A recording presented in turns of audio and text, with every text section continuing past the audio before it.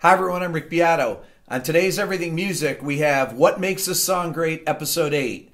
The band we'll be featuring today is A Perfect Circle, and the song is Judith. Let's get started. So, A Perfect Circle was born in 1999 with Billy Howerdel on guitar and Maynard James Keenan from Tool on lead vocals. It also featured Josh Freese, who is a really well known LA studio drummer on drums. So the song Judith was the first single for the record, and one of the things that makes this song great is that it's got an incredibly cool groove that's in 6 8. It's a triple meter groove.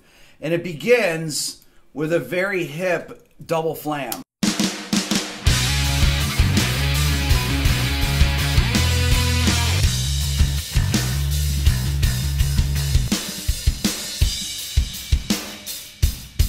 Tune is in drop B, so it's tuned down to C sharp and then like a drop D, which is actually drop B. So this would be the tuning here.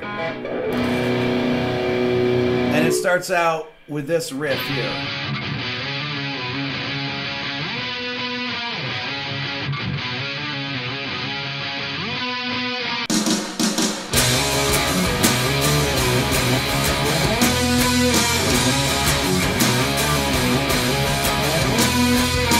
Then a, a delayed guitar.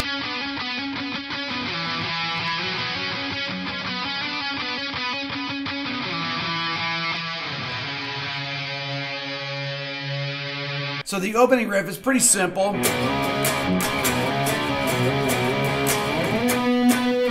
And the octaves go up here to the uh, 17th fret to the 16th. So.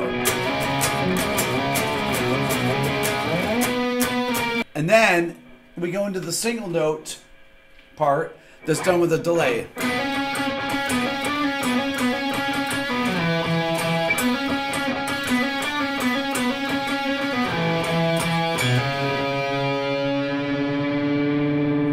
It's really cool. It has a really, really cool effect and I think he was using an effects processor at the time for that part.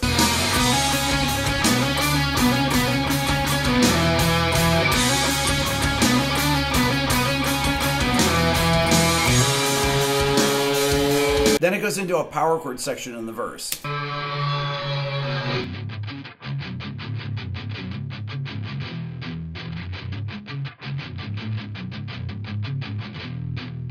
So it's done down here, starting at the second fret with the hammer on.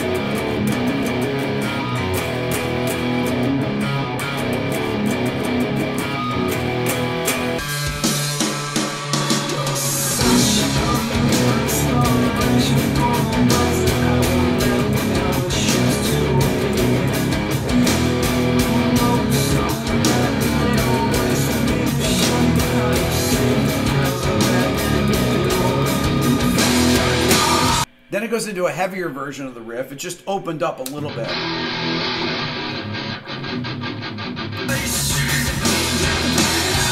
Now, during the verse, there's also this guitar going on.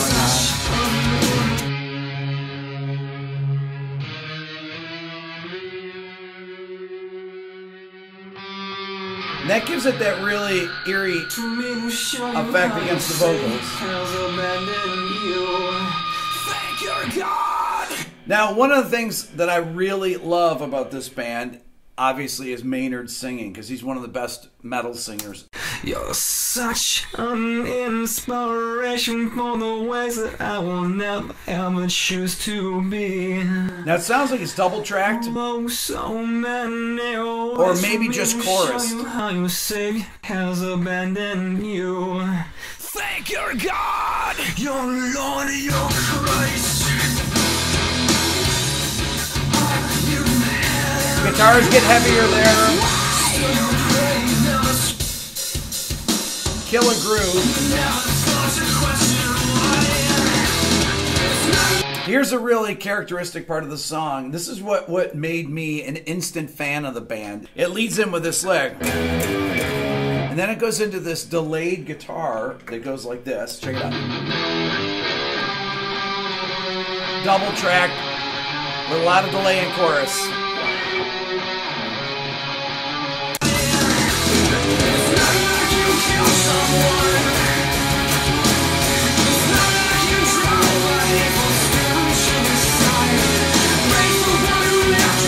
Change. last time it goes.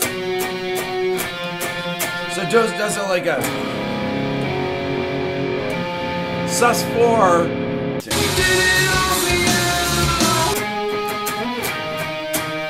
And then the slide guitar comes in. Check it out.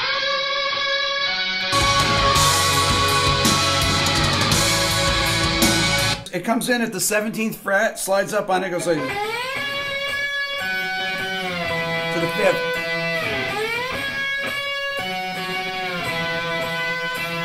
So between those two frets with a lot more delay, listen to it. Right here.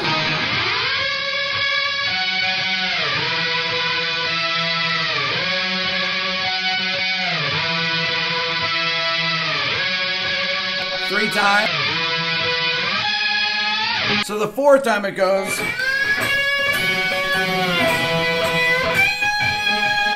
Up to the 19th fret, then into the melody part.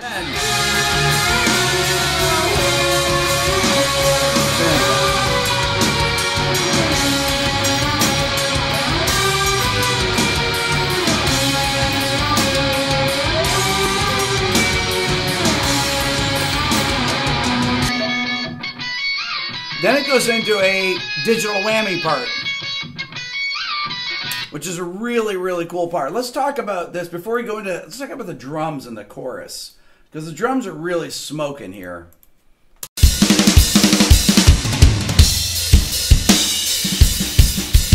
You hear all those ghost notes on the snare.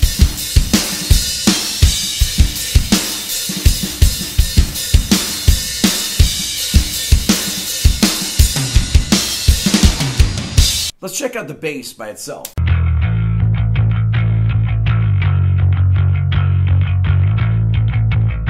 Really aggressive sound.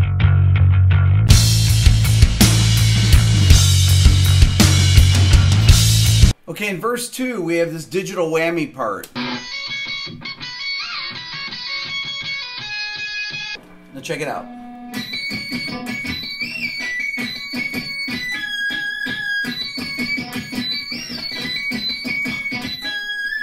I know you've heard the sound before because Tom Morello uses it with Rage Against the Machine a lot. I mean, that was really kind of a signature part of his playing. You'll hear Radiohead would use the digital whammy as well. Let's check out the verse with the auxiliary parts with it.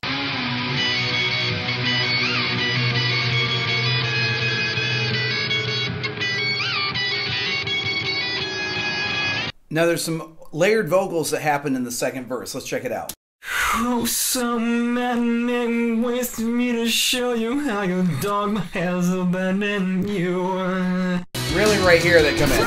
To your Christ, to your God, never taste of the fruit. Never stray, never break, never But so caught Even though he's the one who did this to you, never thought to question why.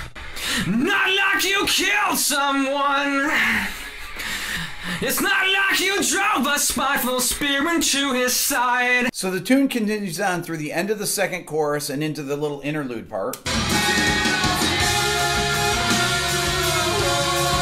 Next, we move on to the bridge, which has a really cool guitar part that you can't really hear unless you solo it. Check it out.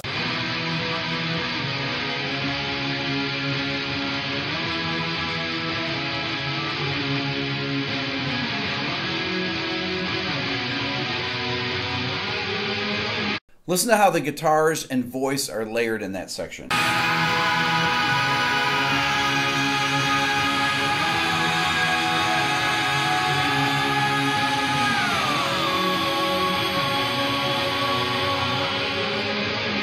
That's all for now. Please subscribe here to my Everything Music YouTube channel.